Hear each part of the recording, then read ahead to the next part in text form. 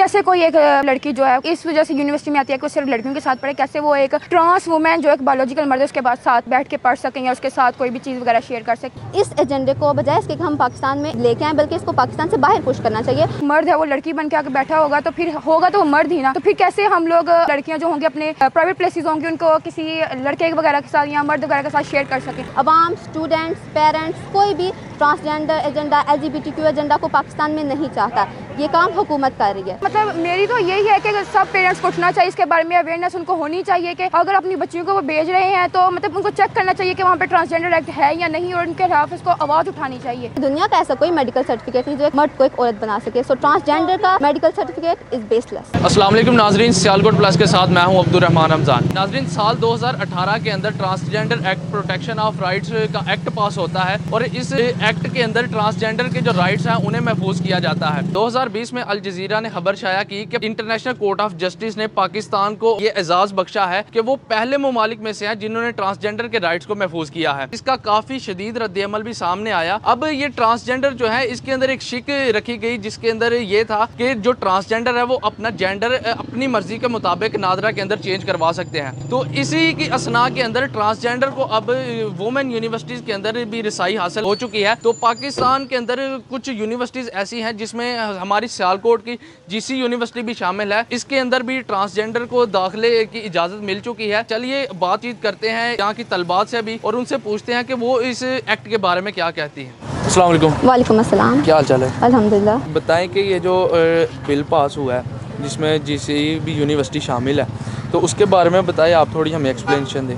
जी 2018 में transgender act pass हुआ था, जिसके मुताबिक वो लोग जो सेल्फ परसीव जेंडर रखते हैं, यानी कि जिनको सिर्फ़ महसूस होता है कि उनका फ़लाँ जेंडर है, फ़लाँ जेंडर है, उनको हमारे मुल्क ने रिकगनाइज़ किया था और उनके राइट्स देने की बात की थी। और अब साल चंद साल गुजरने के बाद हालत यहाँ तक पहुँच चुकी है कि ये हमारी यूनिवर्सिटीज़ में आ गए वुमेन यूनिवर्सिटीज़ में ट्रांसजेंडर का एडमिशन किया जा रहा है, जिसमें हमारी यूनिवर्सिटी भी शामिल है, जिसे वुमेन यूनिवर्सिटी सियालकोट और ट्रांसजेंडर से मुराद ट्वेंटी एटीन के बिल में लिखा है कि वो इंसान जिसका सेल्फ परसीव जेंडर है, यानी कि अगर कोई मर्द है, वो सिर्फ़ महसूस करता है कि वो औरत है तो वो इस यूनिवर्सिटी में एडमिशन ले सकता है अब। और इस एक्ट में जो मेडिकल रिक्वायरमेंट्स है, वो भी हैं?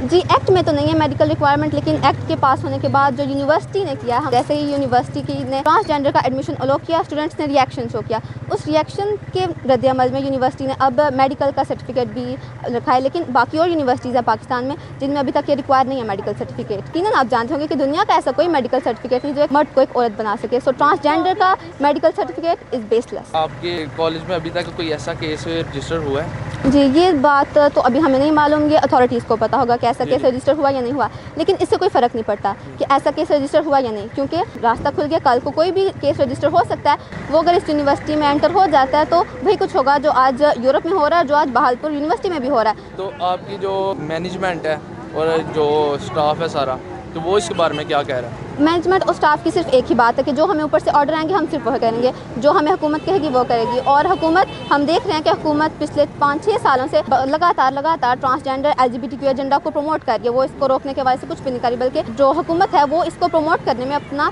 बहुत अहम किरदार अदा कर रही है और सबसे ज़्यादा अहम किरदार अदा करी क्योंकि आवाम इसको नहीं चाहती। अवाम स्टूडेंट्स पेरेंट्स कोई भी transgender agenda L G agenda को पाकिस्तान में नहीं चाहता। ये काम हुकूमत कर रही है और यूनिवर्सिटीज़ का भी यही कहना है कि हम वही करेंगे जो हमें ऊपर से ऑर्डर आएँगे।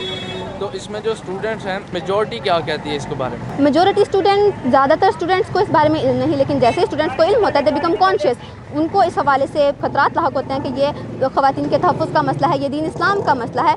Students are very reactive on this issue तो आप बेसिकली क्या डिमांड रखती हैं हुकूमत के आगे कि क्या होना चाहिए इसके बारे में? क्या लाए हमें अपनाना चाहिए? Our demand is simple very simple हम इस्लामी जमहूरिया पाकिस्तान में रहते हैं, जिसकी बुनियाद इस्लाम है। और इस्लाम में L G B T Q agenda transgender agenda इसकी कोई गुंजाइश नहीं है। और हमारा हुकूमत से यूनिवर्सिटी से आवाम से हर एक से यही मुतालबा है कि इस एजेंडे को बजाय इसके कि हम पाकिस्तान में लेके आएँ बल्कि इसको पाकिस्तान से बाहर पुश करना चाहिए और इसको हमारी स्टूडेंट्स से और हमारे पेरेंट्स के हर किस्म के इंसान की ज़िंदगी से बिल्कुल ख़त्म करें।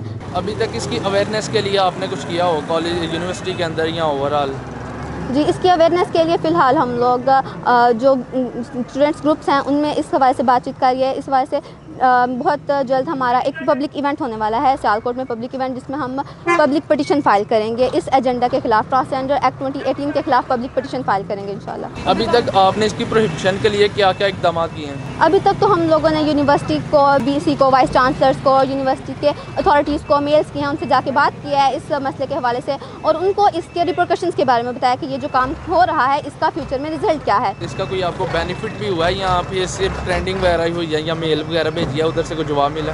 जी, इसका बेनिफिट हुआ है क्योंकि जैसे हमने कहा कि बाकी यूनिवर्सिटीज़ में भी हुआ है, पाकिस्तान की पाँच और यूनिवर्सिटीज़ में ये काम हुआ है। लेकिन वहाँ पर आवाम ने, वहाँ पर स्टूडेंट्स ने शोर नहीं मचाया और वहाँ पर अभी भी मेडिकल रिक्वायर्ड नहीं है।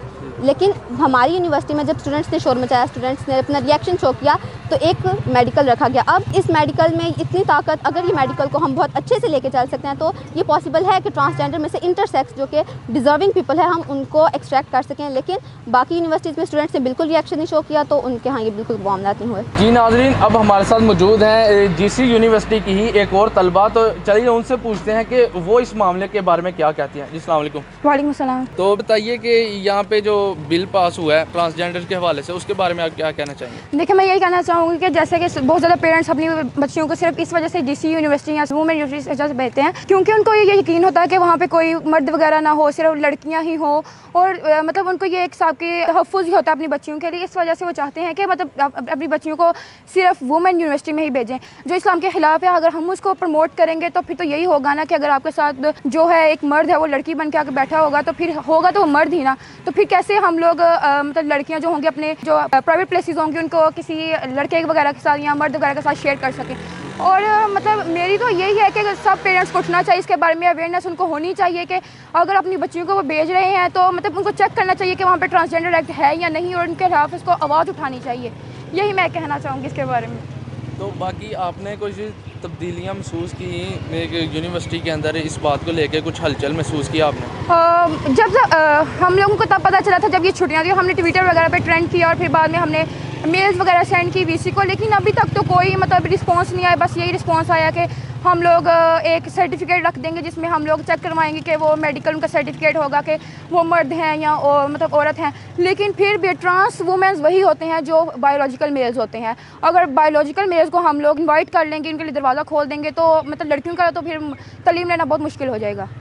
तो बाकी जो आपने मेल्स वगैरह की कॉपरेट आपके साथ ये मैनेजमेंट ने या स्टाफ ने किया जो जीसी यूनिवर्सिटी किया अभी तक तो कुछ नहीं मतलब कोई रिएक्शन नहीं पास हुआ बस वही बिल नहीं पास हुआ था कि सर्टिफिकेट वगैरह हम देखेंगे। तो सर्टिफिकेट वगैरह भी क्या सिर्फ़ इसी यूनिवर्सिटी में या बाकी अंदर? जी सिर्फ़ हमारी यूनिवर्सिटी के स्टूडेंट्स ने वही मतलब घर बैठे ही ट्रेंड वगैरह चलाए और मेल सेंड की थी जिसकी वजह से यूनिवर्सिटी को स्टेप लेना पड़ा।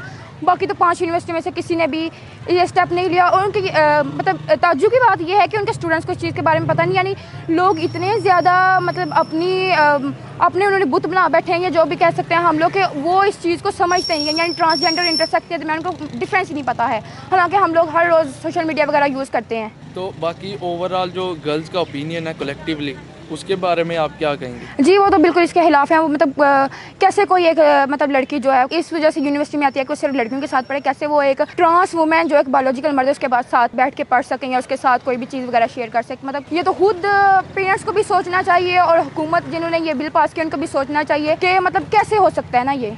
सवाल ये निशान है उनके लिए भी कि मतलब कैसे वो इस चीज़ को समझते हुए कि जो चीज़ इस्लाम के प्रिंसिपल्स के खिलाफ है किस तरह वो चीज़ को प्रमोट कर सकते हैं। जी नाजरीन, आप देख सकते हैं कि यहाँ पे जो तलबात हैं, वो काफ़ी ज़्यादा इस मामले को लेकर संजीदा हैं और वो मुतालबा करती हैं गवर्नमेंट से कि इस बिल को जल्द अज जल्द वापस लिया जाए और इसे नल एंड वार्ड डिक्लेयर किया जाए। अब तक के लिए इतना ही, देखते रहिए सियालकोट प्लस